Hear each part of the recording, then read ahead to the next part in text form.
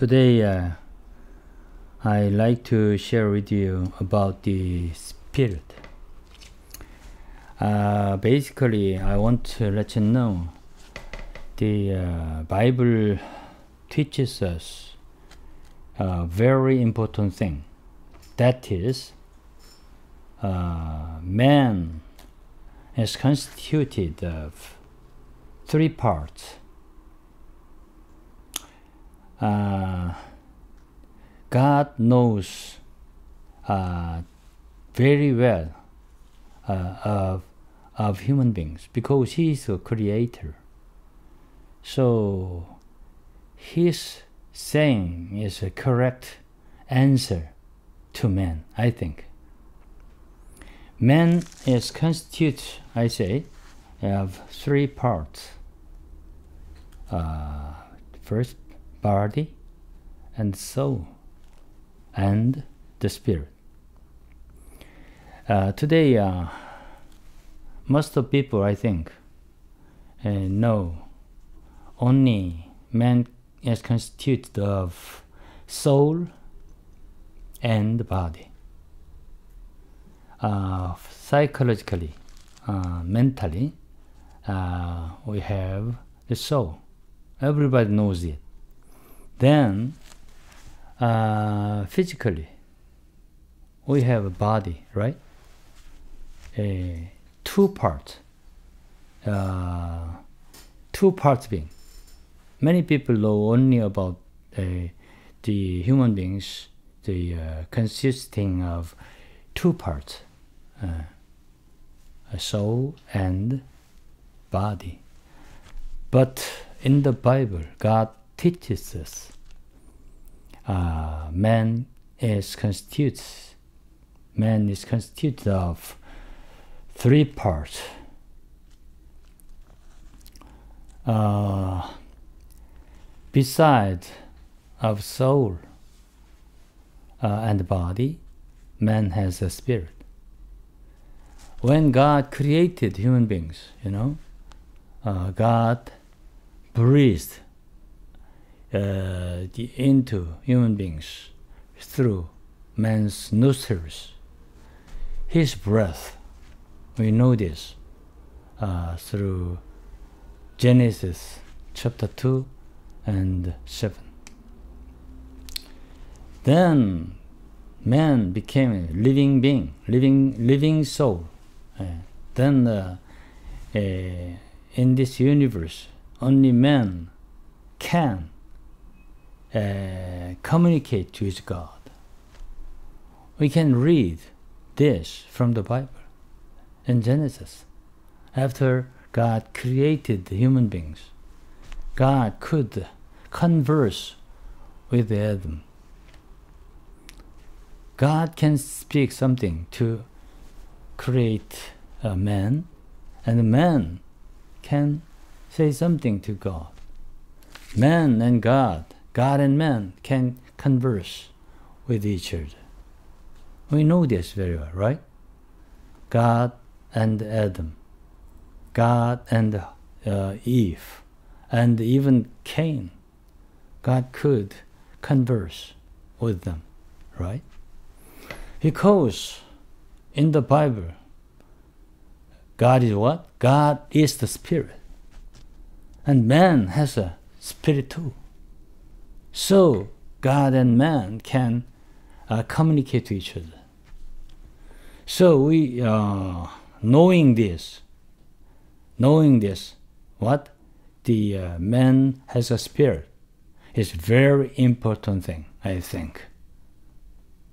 So I say again, man is constituted, constituted of three parts: spirit, and soul and body. Uh, I want to read for you some Bible verses. Uh, first, uh, in the Old Testament, Zechariah uh, chapter 12, verse 1. This is the word of the Lord concerning Israel, the Lord who stretches out the heavens, who lays the foundation of the earth, and who forms the spirit of man within him. In this one verse, God says three items, very important items. What? First, He created heavens and earth and the man. Then here, not only man, has the spirit of man.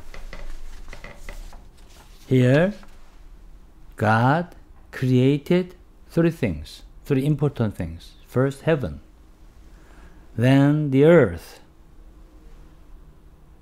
third, man. Here, emphasize the man's spirit. God forms the spirit of man.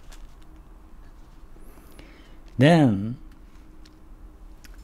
uh, First Thessalonians chapter 5, verse 23.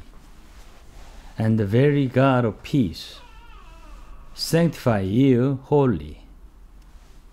And I pray, God, your whole spirit and soul and body be preserved blameless unto the coming of our Lord Jesus Christ. Uh, here we see a three part. Uh, Paul said like this I pray, I pray God, your whole spirit and the soul and the body like this.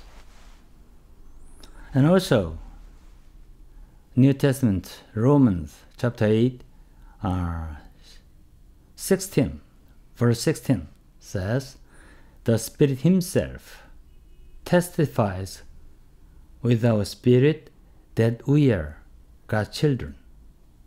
Here, we can see two spirits. First spirit, the spirit, uh, capital letter spirit, yeah, S capital letter. This is God's spirit, which is Holy Spirit. Holy Spirit, I think. I think the Spirit Himself testifies with our spirit. This is our spirit, the human spirit. Yeah. So here we see two spirits, God's spirit and man's spirit. Here Paul said, the Spirit Himself testifies with our spirit. Two spirits testify together that we are God's children. We uh, see three uh, verses from the Bible Zechariah chapter 12, and Romans chapter 8, and Thessalonians chapter 5. Here we can say, we can see those three parts of human being spirit and soul and body and then hebrews chapter 4 verse 12 for the word of god is living and active sharper than any double-edged sword it penetrates even to the dividing soul and spirit joint and marrow. It judges the thought and attitude of the heart. This is Hebrews chapter 4 and verse 12. The, word of God is just like sharper, sharper sword. So that sword penetrates the uh, penetrate and dividing divides soul and spirit and joint and marrow here we are told that uh, the god's word is very very sharp even than any double-edged sword, so it can penetrate and divide soul and spirit. And joint and marrow. Here we see the uh, sharper word, sharper sword, uh, divide soul and spirit, right? Usually, it means soul and spirit is is mingled, and they blend together. But when the sharper word, sword, divide, can divide the soul and the spirit, we can explain like this. And then another verse from 1 Corinthians chapter 2. Uh, verse 9. As it is written, no eye has seen, no ear has heard, no mind has conceived what God has prepared for those who love Him. But God has revealed it to us by His Spirit. The Spirit searches all things, even the deep things of God. Verse 11. Verse 11 is very important verse, I think. For who among men knows the thought of a man except the man's spirit within him? In the same way, no one knows the thoughts of God except the Spirit of God. Uh, God has prepared for us very precious things. From the eternity, He has prepared for us. But Apostle Paul said, No eyes has seen yet. Uh, through our eyes cannot see. This means, yeah, right? With our, our ears cannot hear. And uh, even um, through our mind, we cannot understand. We, we can understand that uh, God has prepared for those who love Him. Mysterious thing.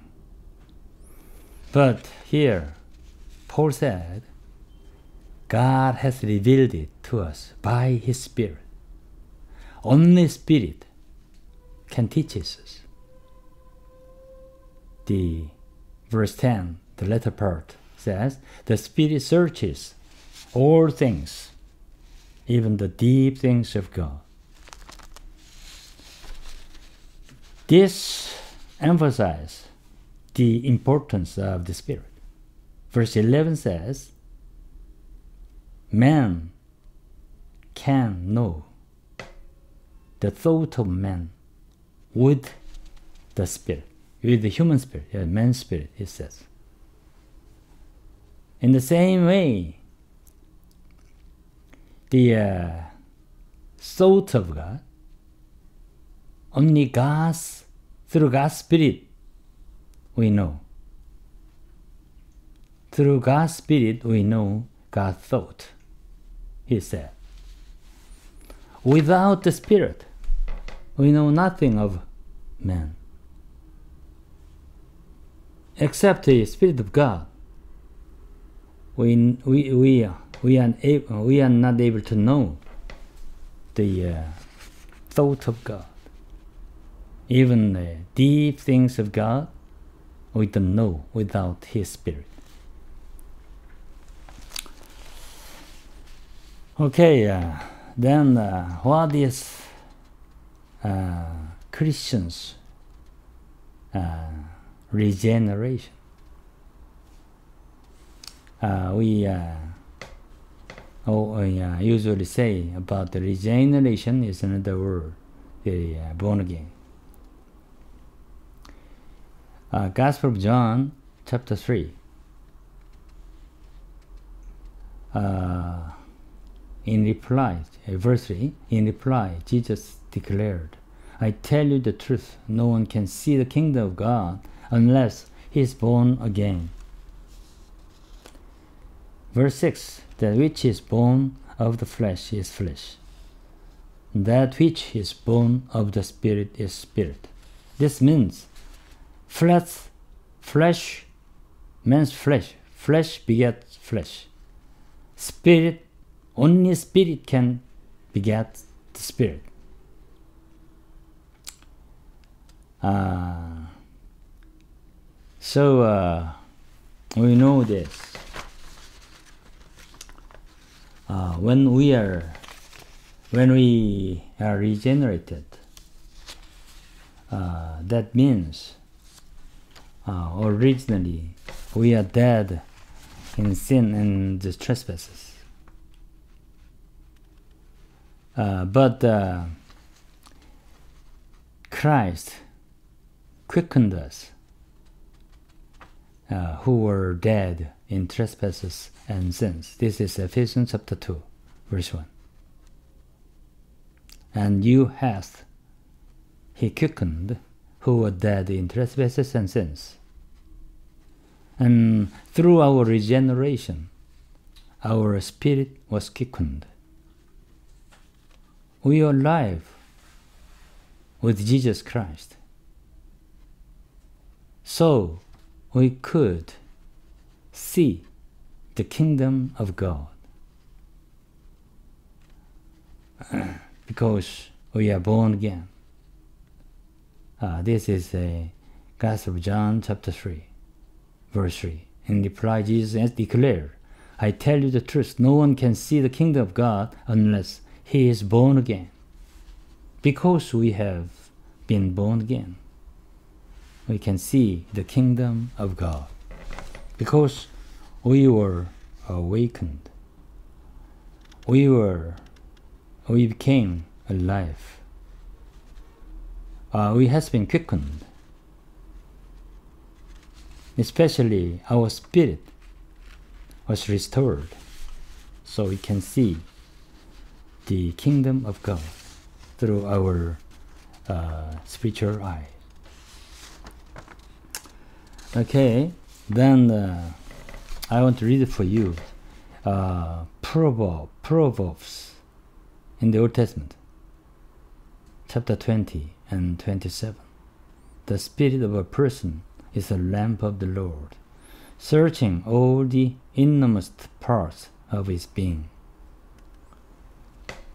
Here, the spirit of a person is a lamp of the Lord.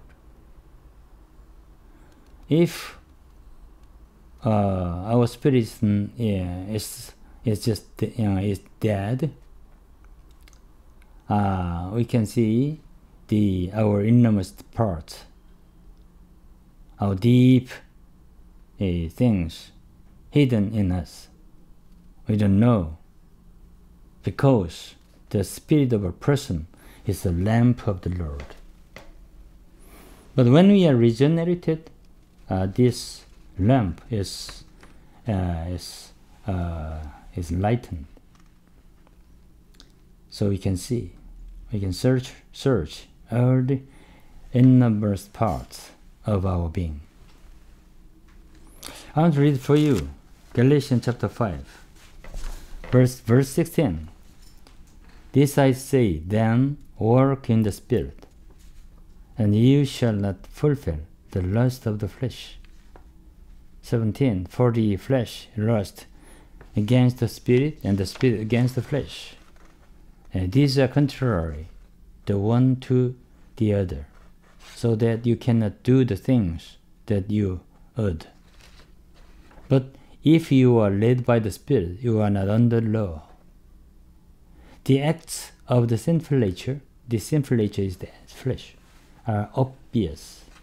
Sexual immorality, impurity, and debauchery, adultery, and uh, witchcraft, hatred, discord, jealousy, fits of rage, selfish ambition, dissension, factions, and envy, drunkenness, urges, urges, and the like.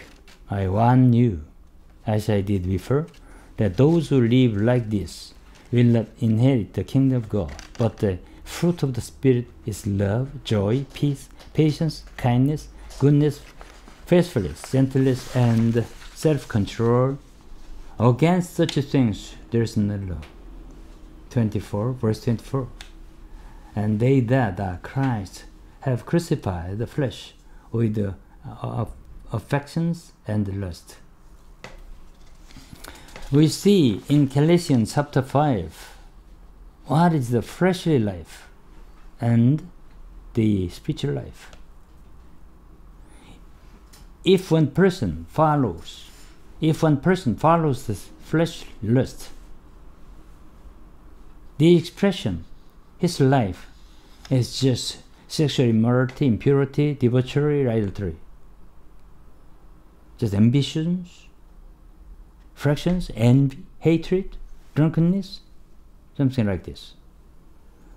But one follows the Holy Spirit. The one uh, lives by the Holy Spirit.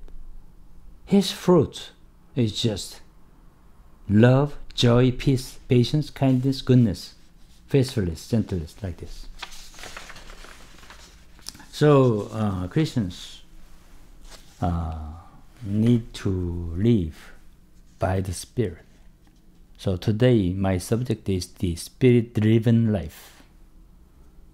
How we can live the uh, by the Holy Spirit leading.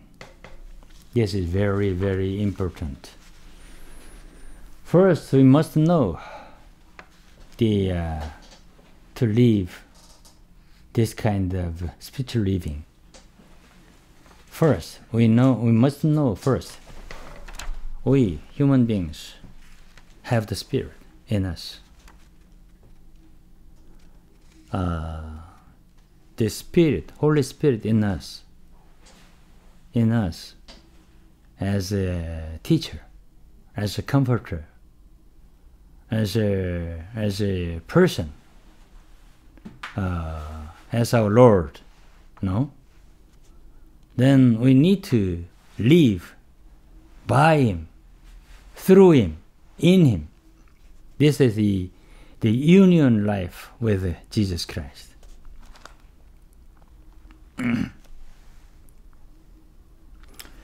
uh, if a Christian do not live by the spiritual leading, their life actually just the, the fleshly living, committing so many uh, so many sins. No doubt. Uh, so uh, uh, we need to live by Him, by Jesus Christ and through Jesus Christ and in Christ Jesus Christ. Then how do we live in this way? First, we need to the, uh, know we have the Spirit in us. Then second, we need to have the desire, desire to do God's will. Gospel of John chapter 7 and verse 17. If any man is willing to do his will, he shall know the teaching. Any man, if any man is willing to do his will, uh, if you want to uh, really uh, to do his will, and you know, you know, you are able to know His teaching, His will. Uh, Jesus Christ can teach you everything. Uh, I want to read for you uh, epistle, first epistle of John, chapter 2 and 27. And as for you, the anointing which you received from him abide in you, and you have no need for anyone to teach you, anyone to teach you, but as his anointing teaches you about all things, and is true and is not a lie, and just as it has taught you, you abide in him. Here we are able to know what? The Holy Spirit, uh, which is anointing, anointing abide in us all the time. Then he can teach about everything. It says like this. So if you want to know, if you want to do his will, then you know. You have to know, no doubt. And Acts chapter 17, verse 27 says, uh, Apostle Paul said this in Athens, Areopag. He, uh, they would seek God if perhaps they might grow might grow, seek. Uh, no, no, I, I, I read it again. If perhaps they might grow for him and find him, though he is not far from each one of us. If we grope him, we grope for him, and we can find him. Paul said like this. Because God is not far from us, like that. He even God is in us today. Christ lives in us today. Holy Spirit abides in us. So he can teach us every time, every moment. We can be taught by him. Really, if you want to know his will, he can teach you everything. So, here, uh, Paul said, grow, grow for him, grow for God. You No, what does it mean, grow? Feel around. No? Uh, if we grow up for God every time, whenever we uh, we face this a, a kind of circumstance, uh, how we we ask to God, what shall we do? Then we begin to grow for Him. Then eventually we find God's will, and we can do His will like that. Okay, yeah. Uh, then uh, lastly, I want uh, I want to emphasize one thing. Then I want to finish. Our mind is very important. I our uh, if we want to live by Him, uh, we, if we want to live by the Holy Spirit leading, then we need to set our mind all the time on the on the on the on the Holy Spirit. And then uh, all the time uh, uh, we just rely on rely on Him, and we need to uh, be united uh, with Him. Then uh, the Holy Spirit can teach us every, everything. Then another another one, another thing I want I want stress and emphasize that is conscience. The uh, Apostle Paul said in Acts 24, verse 16, So I strive always to keep my conscience clear before God and men. Because in our spirit uh, consists of three things also the conscience and the fellowship and the intuition. Conscience is very important.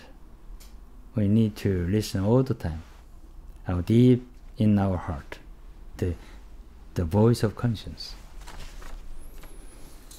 Okay in this way, as Christians, we can live by the, the Holy Spirit leading. Then we can follow God's will. I think the may the Lord bless you all, and uh, you all uh, can uh, live uh, the spiritual living uh, through the uh, following of God's leading. May the Lord bless you. Amen.